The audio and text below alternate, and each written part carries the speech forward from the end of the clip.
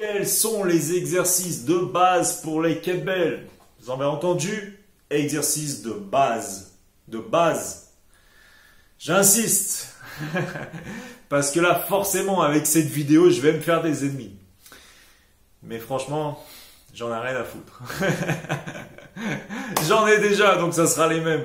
Non, je, déconne. Euh, non, sincèrement, les exercices de base, et eh ben, que déjà quels sont les mouvements de base dans la musculation? Soulevé terre, développé couché, squat, arraché, épaulé jeté. Bon, eh ben, vous avez votre réponse avec les kettlebells, vous faites la même chose. Sauf que chez les kettlebells, le soulevé de terre, le, le, squat et le développé couché, étant donné que c'est pas des charges légères, on va laisser un peu tomber, quoi, sauf sur des répétitions excessives. Quoique le développé couché, très très intéressant avec les kettlebells. Mais on va plus se concentrer sur le swing, le snatch, le clean, le jerk, le long cycle, le half snatch. On n'oublie pas le half snatch et surtout en double. Le double half snatch, c'est une tuerie pour un développement de la puissance, c'est le mouvement qu'il vous faut. Mais c'est vraiment ces exercices qu'il faut travailler. On commence toujours par le swing parce que c'est une base. Derrière le snatch parce que c'est la continuité. Le swing c'est un demi-snatch hein, clairement. Ensuite le clean, le jerk, le long cycle. Le long cycle qui je le rappelle c'est l'association du clean et du jerk. Vous avez un mouvement ultra complet le double half snatch, donc en simple, en double, mais de préférence en double.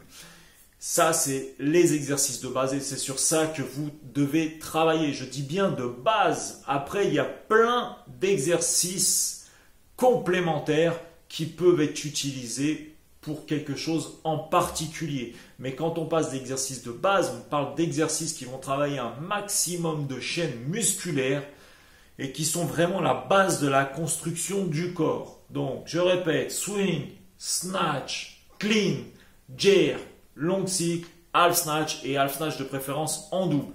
Voilà, c'est ces exercices-là que vous devez travailler en priorité.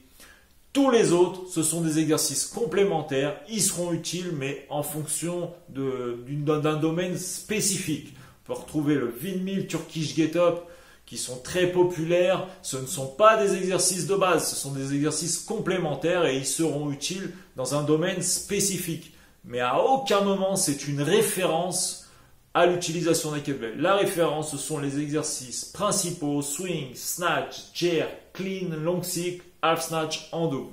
Voilà, c'est ça que vous devez travailler les gars. A plus